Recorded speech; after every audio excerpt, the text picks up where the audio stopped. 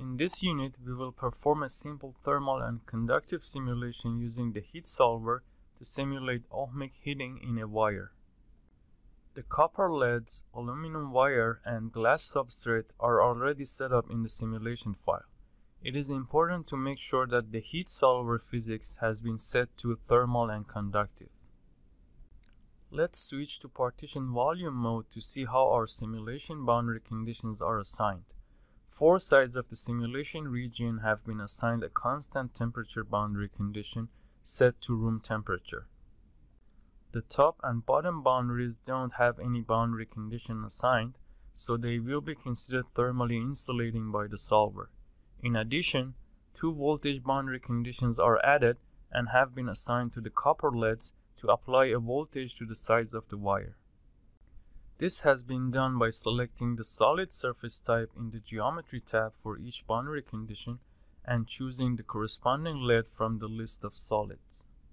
The left side of the wire will be swept from 0 to 1 volt in 6 steps by choosing the range sweep type for the left voltage boundary condition.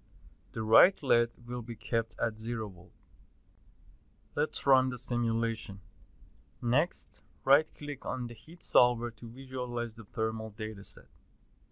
The thermal dataset will provide the heat flow labeled as Q generated in the wire as a function of voltage, as well as the 3D temperature profile of the system as a function of voltage.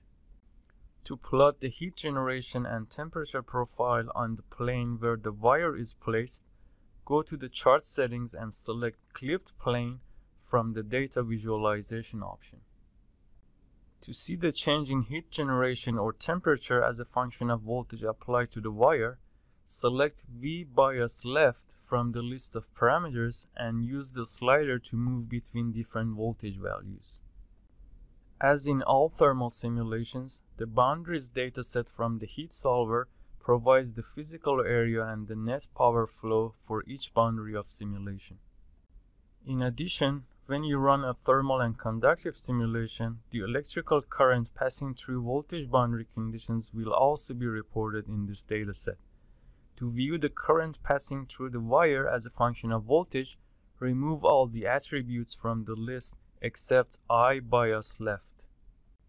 It can be seen that the current voltage relation is linear as expected from a resistive device. In fact, the resistance of the wire can be easily calculated from the inverse of the slope of this plot, which is 50 ohms.